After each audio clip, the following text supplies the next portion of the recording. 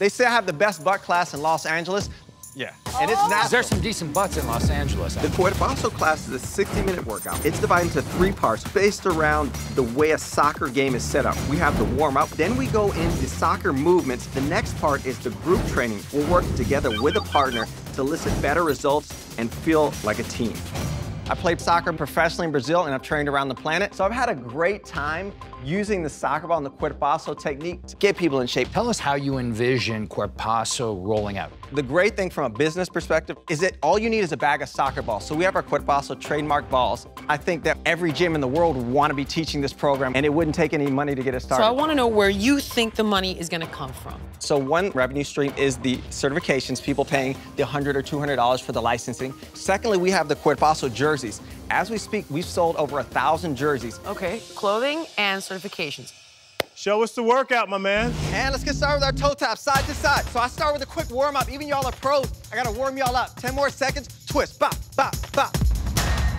And let's do our European step overs, nice and low, stepping around the ball. Great warm up, dude. That's what a warm up should be. Not only do soccer warm-ups increase blood flow, but they also increase coordination and agility. We're gonna go right into our drills. Rápido, bora, bora, bora. Eso, estamos chegando. Boa, rapaziada. I love the whole language that goes with this, man. I like to incorporate Portuguese in the workout. I special love that. That's important. Like CrossFit has their lingo, the WOD. Yoga utilizes Sanskrit. CrossFit utilizes PR or WOD of the day. What this guy is doing with Portuguese is brilliant. Our favorite word in Brazil is golaço. So that means amazing goal. I'm gonna pass you the ball. Each of y'all is gonna take a shot on the goal. Golaço, you can celebrate with a hip switch, and that's it. Here, you're working the inner thighs and your explosiveness on lateral movement. Golaço! Beleza! Oh, eso! Vamos lá, eso! Eso! Eso!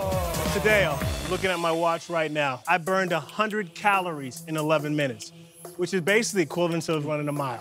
I love the workout. I think it's a great workout. Thank you. You know your sport. You understand the elements of fitness within your sport and how to maximize them, and I really respect that. I will say, if it's too technical, nobody can teach it. But if this thing goes and works, you will have a lot of people come around with bags of soccer balls and trying to run us through that. It just means you're gonna have to make choices that support rapid speed to market. Gotcha. I've always done good things with Cuerpazo, and I'm just hoping that they sensed it and felt it, and their booties are a little sore, so they can't sit down right now, but they're standing, deliberating, just say, let's push this dude through and make this the next big workout.